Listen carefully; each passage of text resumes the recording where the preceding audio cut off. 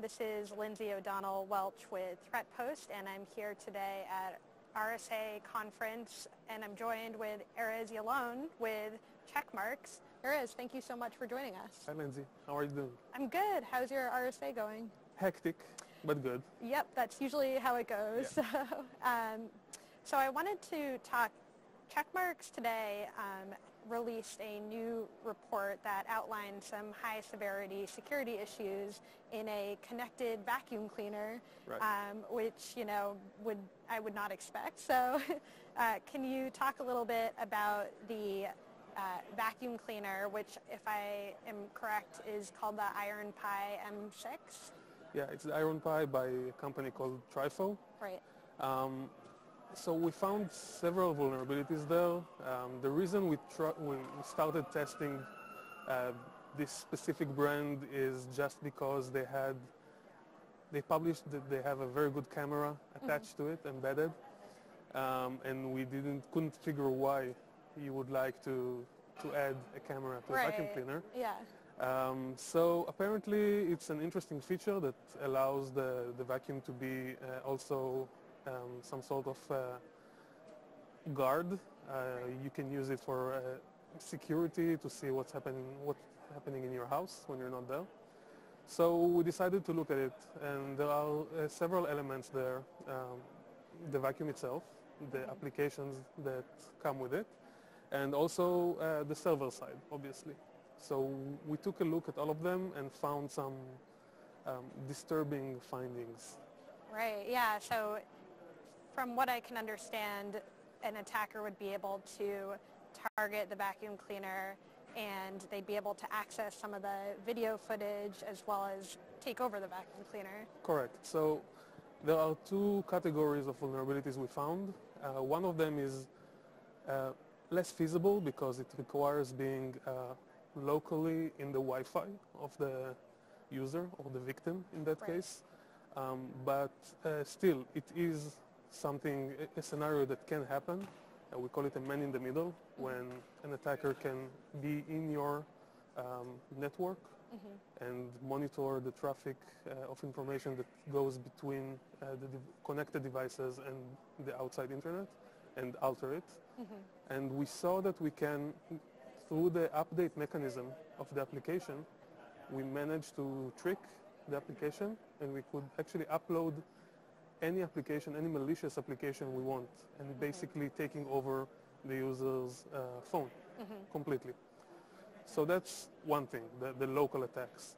Um, as you mentioned, there are also the remote attacks, which allows an attacker, wherever they are uh, around the world, just getting access to a complete um, live feed from the camera of any vacuum, um, no matter where it is, and also access uh, a map of the house, and also the name of the network, the SSID, which sometimes allows to locate geographically the, the place that um, the hacker is looking at.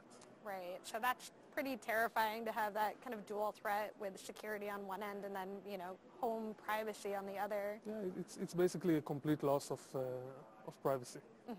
Yeah, for sure. Well, I'm also curious too, another part of the report was that you had reached out to Trifo about these vulnerabilities and um, at, when the report was published, hadn't heard back. Um, how is kind of that disclosure process? So we have a very strict uh, disclosure process, um, but it only works if the vendors uh, actually um, answer or respond.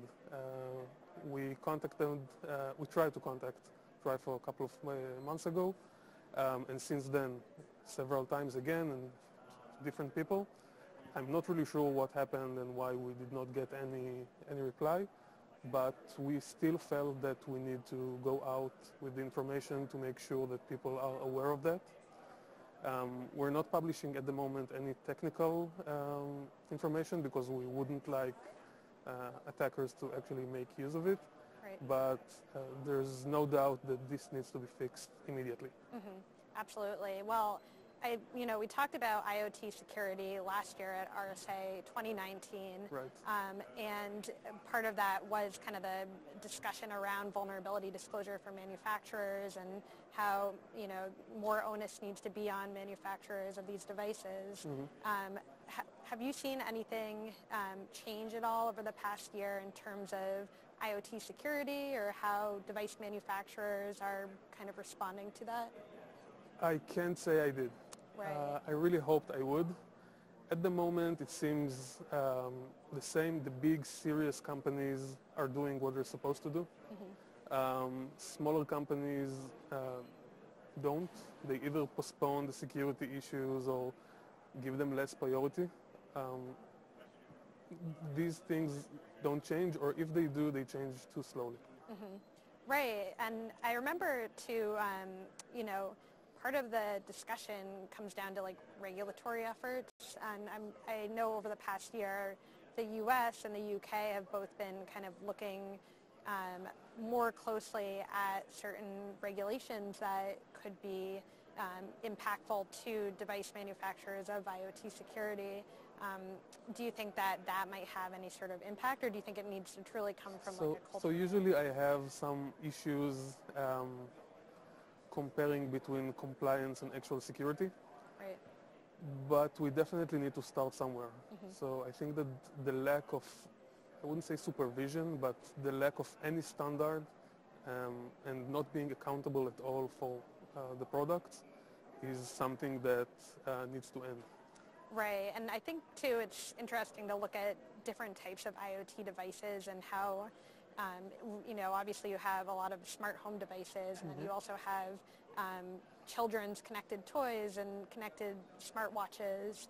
Um, and I, I just feel like the, the level of threats is so broad and um, impactful in terms of privacy threats and, and whatnot. So I just think that it's, it's pretty important to kind of be aware of that um, from a user perspective. The awareness from the user side is, is very important. Um, I don't think that the specific, this specific vacuum by Trifo is the story here. Uh, obviously, there are some disturbing uh, findings, but um, the general story here is about consumers um, deciding to add another camera in their house. Um, obviously, we want to have some more convenience, and I think that everyone knows that convenience comes sometimes um, you know, the price we pay is sometimes privacy. But maybe sometimes we need to stop and think again. If, you, if you're adding another device to your network um, with a camera, with a microphone, some access to your location, access to your, to your internal uh, uh, Wi-Fi, um, maybe stop for a second, think if you really need it. Uh, I'm not expecting consumer to, to actually go and do the research we do and find out if what they just bought is, is secure or not. But maybe do some homework about the vendor, uh, the track records of, of uh, not security findings, but how they treat and deal with security issues when they are found. And the same could go to businesses too and enterprises who might be using, you know, connected security cameras Yeah, or things like that. So, and I feel like the risk might be less for that, less about privacy and more about security. Um, so I think, you know, that should be noted as well. Um, is there anything, any trends that you're seeing in the IoT security space um, that have kind of cropped up over the past year that we should be looking out for in 2020? Well, I, I think there is more of it. When, when we talked last year, um, I was under the impression that we really hit every, every possible domain with it, but really we see it everywhere now, really everywhere with baby pacifiers and, and smart toasters and, and, and uh, It's really scary. Yeah. yeah. everything. Yeah. Everything is IoT, and it really, it really requires a second thought about that from the consumer side, from the uh, uh, vendor side. Um, we do expect them to to take the extra measures of making uh, more secure items.